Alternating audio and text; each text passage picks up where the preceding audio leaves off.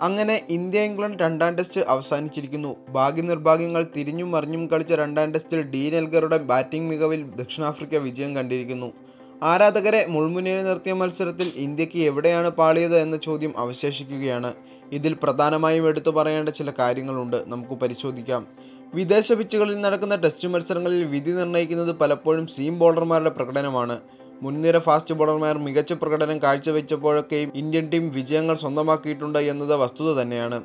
രണ്ടാം ടെസ്റ്റിന്റെ രണ്ടാം ഇന്നിംഗ്സിലും ഇന്ത്യയ്ക്ക് അവിടെ തന്നെയായിരുന്നു കാലിടറിയത്. മുൻനിര ബോളർമാരുടെ കൃത്യതയില്ലായ്മ ഇന്ത്യയെ ബാധിച്ചു.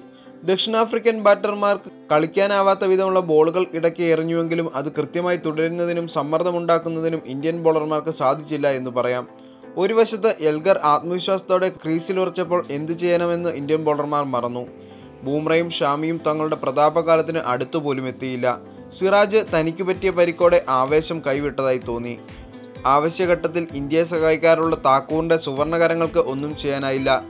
അതിനാൽ തന്നെ ഇന്ത്യയുടെ പരാജയത്തിന് ഒരു പ്രധാന കാരണം മൂന്നും നാലും ദിവസങ്ങളിൽ ഇന്ത്യയ്ക്ക് ബോളിങ്ങിൽ ഉണ്ടായ പിഴവാണ് എന്ന് നിസ്സംശയം പറയാനാവും. മറ്റൊന്ന് ബാറ്റിങ്ങിൽ ചില നിരുത്തരവാദപരമായ സമീപനങ്ങളാണ്. ഋഷഭ് പന്ത് അടക്കമുള്ളവർ അമിത ആവേശത്തോടെ അനാവശ്യ ഷോട്ടുകൾ കളിച്ച് കൂടാരം കയറിയത് ഇന്ത്യയുടെ ബാറ്റിംഗ് മൊമെന്റത്തെ ബാധിച്ചു. രണ്ടാം ഇന്നിംഗ്സിൽ നൂറ്റി അൻപത്തിയഞ്ചിന് രണ്ട് വിക്കറ്റ് എന്ന ശക്തമായ നിലയിൽ നിന്നാണ് ഇന്ത്യ തകർന്നു വീണത്. തങ്ങളുടെ ബോളിംഗ് നിരയിലുള്ളവരോടുള്ള അമിതമായ ആത്മവിശ്വാസമാണോ ഋഷഭ് പന്തിനെ പോലെയുള്ള ബാറ്റർമാർക്ക് ഇത്രയും മോശം ഷോട്ട് കളിക്കാൻ പ്രചോദനമായത് എന്ന് ഇന്ത്യ തന്നെ വിലയിരുത്തി പോവേണ്ടതുണ്ട് ടെസ്റ്റിന്റെ രണ്ട് ഇന്നിങ്സുകളിലും മുൻനിര ബാറ്റർമാർ തങ്ങളുടെ അവസരങ്ങൾ മുതലാക്കിയില്ല എന്നത് പ്രധാനപ്പെട്ട ഒരു കാരണം തന്നെയാണ്. രാഹുലും പുജാരയും രഹാനയും ഒക്കെ അർദ്ധ സെഞ്ചുറികൾ നേടിയെങ്കിലും അവസരങ്ങൾ മുതലാക്കി വലിയൊരു സ്കോറിലേക്ക് എത്തിക്കാൻ ബാറ്റർമാർക്ക് സാധിച്ചില്ല. പലരും അനാവശ്യപരമായി വിക്കറ്റ് തുലച്ചു. ഇതൊക്കെയാണ് ജോഹന്നാസ്ബർഗ് ടെസ്റ്റിൽ ഇന്ത്യയുടെ പരാജയത്തിനുള്ള പ്രധാന കാരണങ്ങൾ.